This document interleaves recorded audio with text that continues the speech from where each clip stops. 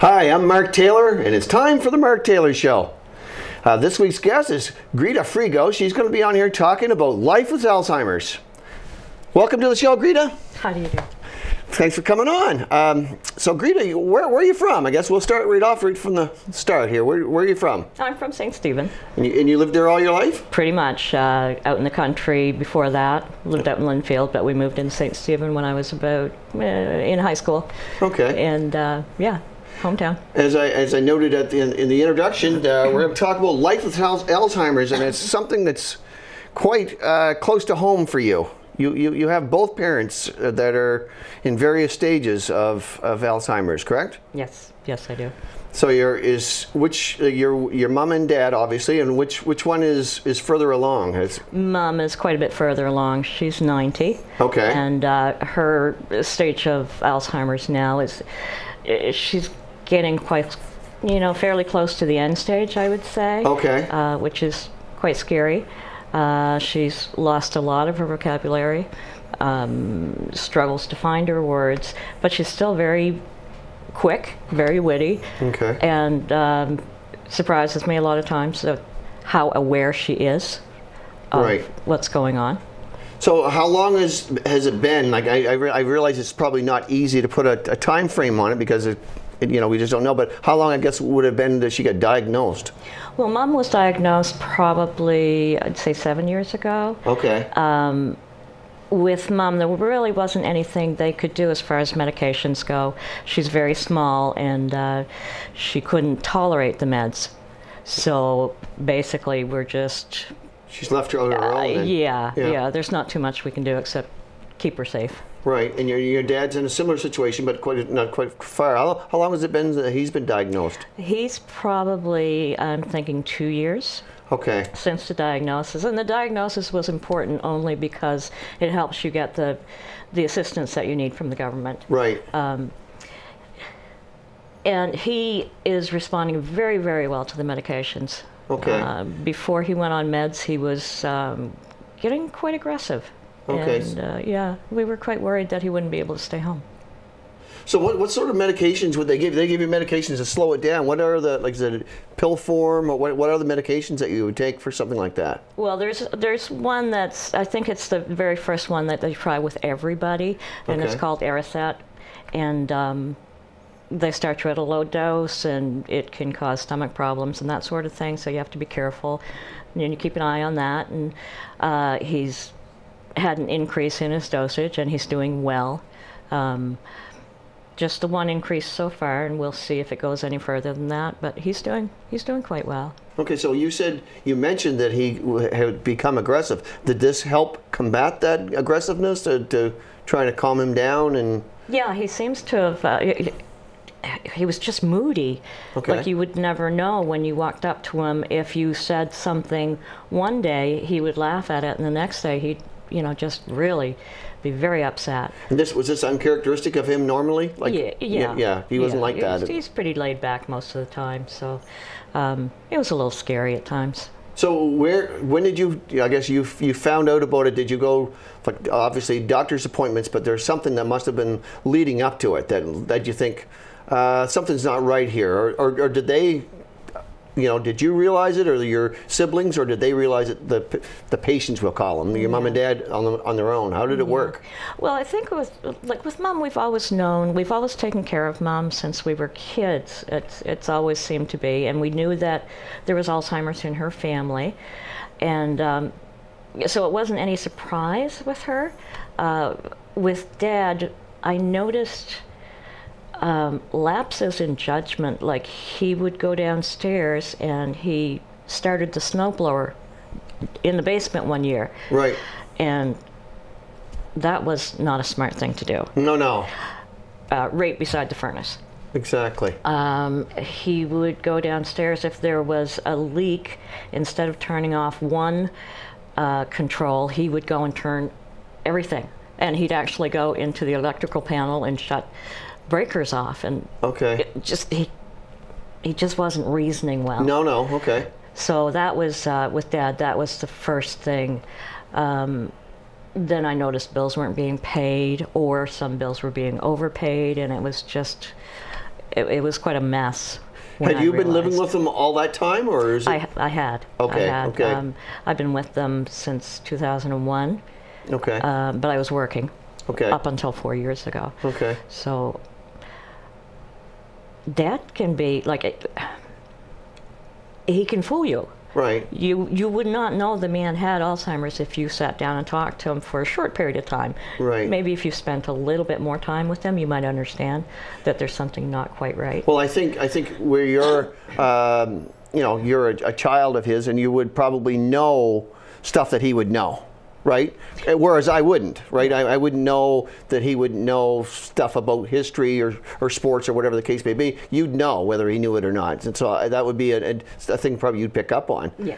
Um, so there's no cures for the for the disease, but is, have you ever heard of any causes or anything like that? What would have caused? You obviously you mentioned hereditary. It's Well, I've read up a little bit about it, and I, I know the latest findings are that it's something to do with the proteins in your brain, and um, and I may have that wrong, but they are getting close to finding a, a cause. Yeah, if, I think if they find the cause, and they may be able to treat it somehow or find a, a cure for it, which is something I'm, uh, you know, we all hope that it happens. That's for sure.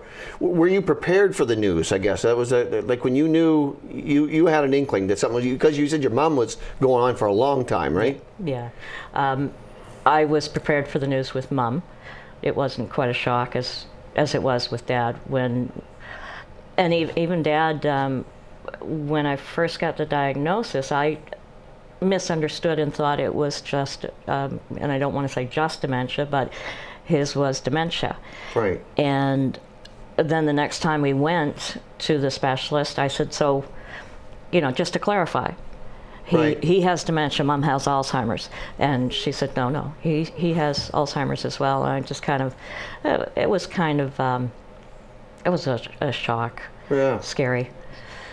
Do, do you know the difference between the two, or is it a one is not as severe? Is that the the, the thing, or Well, I think um, I think with dementia, it, there's a lot, a lot more. Conf- there's confusion, which goes with Alzheimer's, and dementia, by the way, is a blanket term for Right. Alzheimer's. Okay. Um, but with Alzheimer's, your brain cells are actually being destroyed, okay? and that's the difference with with dementia. They're not being destroyed. You're just you lose things, but it, it's still in there Okay. if they can access it. Are, are the tests that they do is it is it clinical or well, how do they, can they do they just interview the, the patient and they they can make a diagnosis that way? Yeah, There's basically. tests and stuff that they can do. Yeah, they do, uh, you know, t- co- cognitive reasoning tests and things like that, and you fill out some papers and you answer a bunch of questions, and it's a very simple test. Um, Right.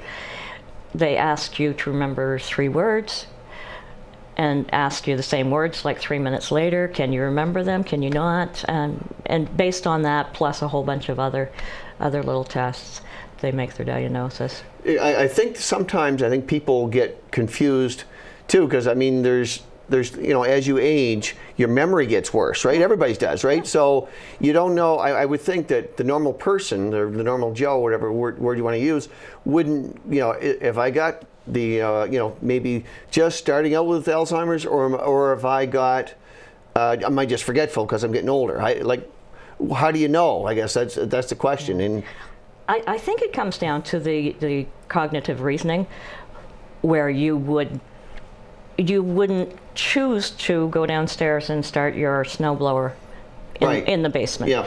Uh, whereas, you know, something forgetting like your that. keys or something. Go, go get in Yeah. the car and you go, oh, geez, I forgot my keys. Yeah. I got to go back inside. But Yeah. I, I read somewhere that uh, if you forget your keys, yeah, that's a memory problem. But if you forget what your keys are for, that's that's, then that's that a difference. be- Different thing altogether. yeah.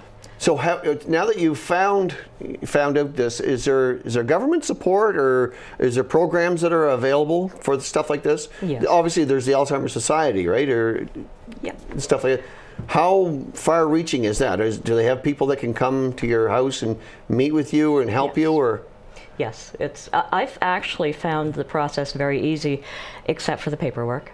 okay, You know, government paperwork is always insane. right? But um, no, once once we got things rolling, then it wasn't any time at all. Okay. that we Because they want having- proof that you've got it, obviously, which I can't imagine somebody would fake it. I don't. I, but that's you know you are right. That's who we're Yeah. dealing with here. So it's Yeah.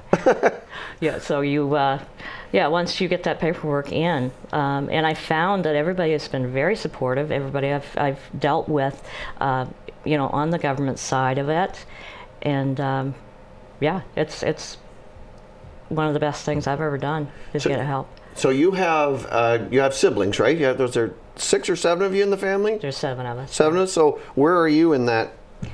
Are you the oldest, youngest, or in the middle, or No, I'm the third oldest. okay? So you have you have siblings that are older than you that are Two or older. yeah. And, And- and I'm sure that's crossed their mind, right? I mean, as it's crossed yours. Oh yeah, we're all like, and I wish there was a, a test that we could take and say, okay, you are, you know, you should be on medication now, because they say the earlier that you can get um, the medication into you, the the better your prognosis is. Again, you're not going to get a cure, Right. but it will slow things down. So you you you don't. I mean, it's hard for you to foresee if if you're, but you can you're going down that road or not. But Your parents probably didn't see it. Did your mom actually know that she was getting she was slipping into Alzheimer's? Is Yeah, there was there was a point. I think she's past that point now, but there was a point where she every sentence that came out of her mouth and, and every mistake that she made and every time she did something that wasn't quite right, she would say, "What? What is going on with me? yeah. There's something wrong here. What's wrong with me?" And uh, she doesn't ask that anymore. No. And She's you, and you said that's that. where your dad is pretty well, right? He's at that stage. Dad sleeps a lot. Yeah, and that's he's at a, at the stage where he knows he's got it, yeah, yeah, he does. and I'm sure it, it, it scares the heck out of him. oh, it's gotta.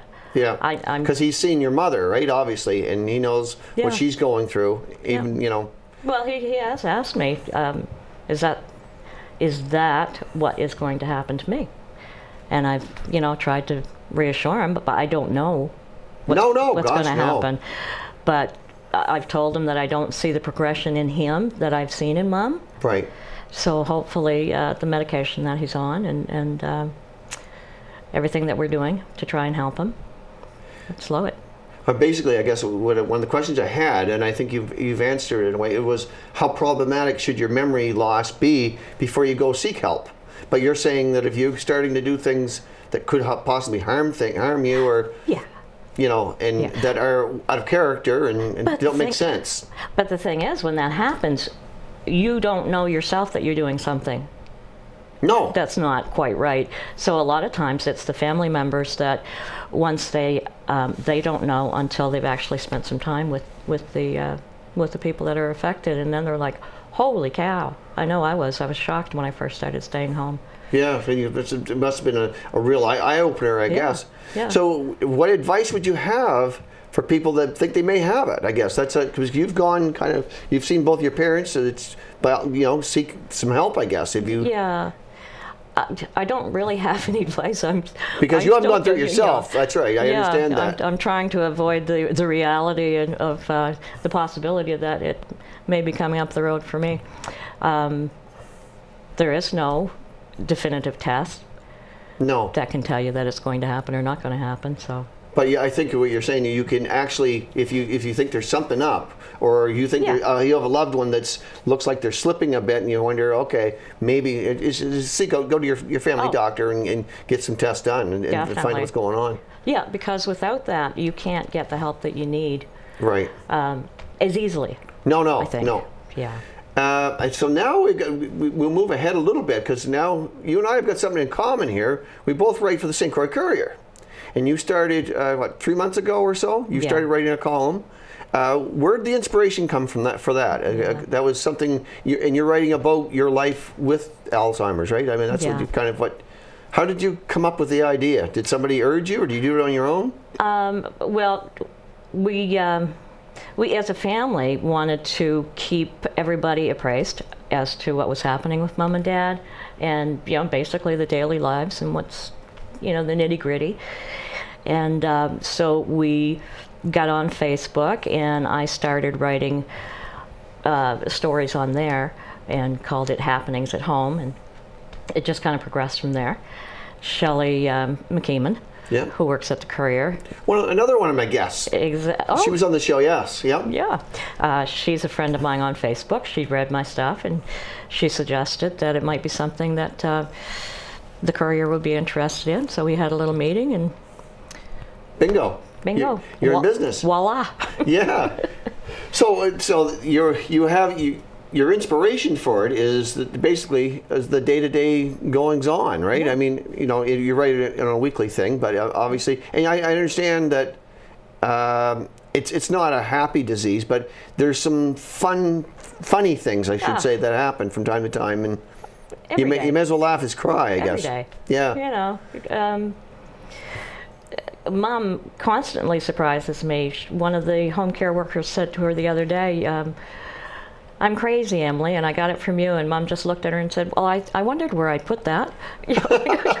Just bam, she's right there. Yeah, yeah. So there's always something to laugh about. Well, I, yeah, because I think there's uh, that the personalities change. As we, another thing we noted, and it's she's changing. Uh, how many of your of your family live around here? That Uh, I, myself and my brother, one of my brothers live in St. Stephen. I have a sister on Deer Island, and everybody else lives away. okay, Yeah. so that would be a way if they had a you know the paper or something they could read up and see what's going on. Yeah. As opposed to calling you up and getting it rid of the word of the mouth. I mean, you could have it in a, a written form, which is which is kind of neat. I mean, or you could email it to them, I guess, or something like that. It's a big help. It's a big help because uh, Dad had congestive heart failure a couple years ago, and uh, it was much easier for me to get on the computer and, and just type out what was going on rather than make six different phone calls. Yep, exactly. And uh, So So when you're doing these uh, write-ups and stuff like that, you're writing about. I mean, there- there's things that they hide. Your, your mother hides things. There's there's all kinds of things that go on Yeah. that people, you know, it's almost like they're gone back in to their, their childhood in, in some some respects, right? Oh yeah, yeah. I I have a 90-year-old toddler. Like Right. Yeah. she's just, and she's very very fast. Um, keys, like we have to tell the home care workers to make sure not to leave your keys laying around or your cell phones, uh, because she just she's not doing it on purpose, but she sees something and she picks it up and puts it away Okay. to her, so it won't get lost. Right. And uh, you know, meanwhile, you're going crazy trying to find. Yeah. Exactly. And you know where anything is. Yeah. Yeah. So ha- have you been getting any feedback on the show or the show On on, the show. on, on, on, the, on, the, on your uh, columns and things like that? Yeah. People that say, you know, I've got similar stories or this sounds like something that's happened to me. Yeah, yeah, I get that. Uh, whenever I'm out now in the supermarket, or uh, I've uh, received some mail from people as far away as uh, there was one lady in the Netherlands that uh, they still get the, the courier over there, and Okay. and uh, she just sent me an email and you know said how much she appreciated hearing about it, and and um, another lady in Ottawa, and then just people around St. Stephen. Okay. Um, I had a, a friend that we haven't seen in 20 years get a hold of us from out west because he reads the Courier and Okay. came across my column. So yeah, it's been it's been a lot of fun. yeah. A lot of support from people. Yeah. Yeah. It's not a. It's not a something that I think you and I talked about on the phone yesterday. It's not. It's getting to the point where it's touching. Just it's almost like cancer in some respects.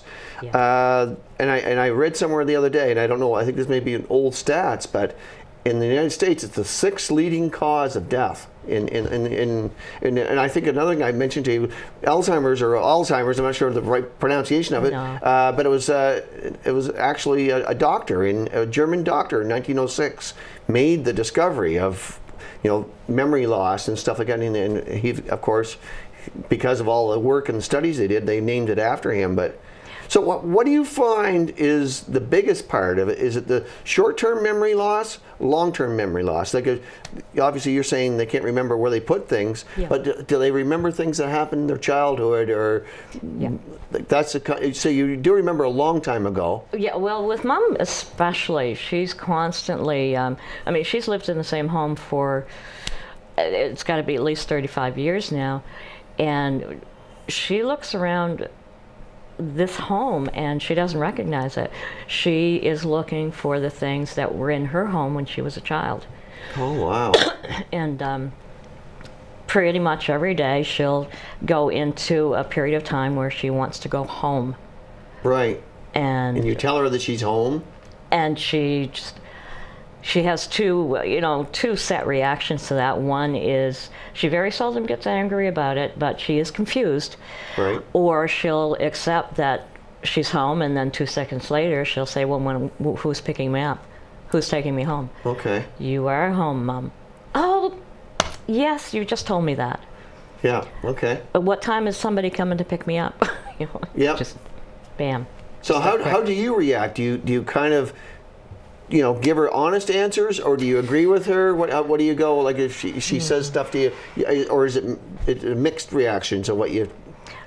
If she she asks you things that you like, you'll say, well, I don't. For instance, come, when somebody come to get me, now is there times you just go, "Oh, mom, don't talk that way." I don't, you know, or, or do you say, "Oh yeah, there's somebody coming"? Would she notice the difference? I mean, Eh, Well, you kind of play it by ear. Um, Right. The probably one of the heartbreaking things right now is all along she's been able to ask me um, about her parents who have passed. You know, it's been 50, 60 years. Right. And um, all along, every time she's asked me, I've said, "No, no, mom, they've they've passed away a long, long time ago." Oh, that's right, that's right. And then recently, she asked me that, and when I said they've passed away, she she was devastated okay, because to just like she just heard the news now. exactly, and it really, you know, it. I felt very badly. It comes to your heartstrings, Yeah, obviously, because I mean, yeah. it's, you you know what it would be like. You know, I mean, you can just imagine. You know, they were your grandparents, and your grandparents died, and now hearing it again, 50, 60 years later, is just like it, yeah, it's brand new to you. yeah, it was it was pretty heart wrenching, and uh, so you know, my automatic response is not to lie, Okay. but I think I'm going to have to from now on because I don't want to cause her that pain every time. No, no, You no. know, even if it's just short lived, because she Yeah. may forget that you told her and things like that. Yeah. Um, has there been and another thing I've heard about, and then you, I think you and I discussed a little bit, personality changes that happen. Like if somebody that could be happy-go-lucky is now abrasive, or, or, or maybe people that Yeah. were you know quite um, I don't know say clean living people that could possibly take up swearing or, or whatever, drinking. I mean, what, there's all kinds of things that happen. Is that there? Have you noticed anything like that going on? Mom's quite loose with the. My sister says her filter is gone.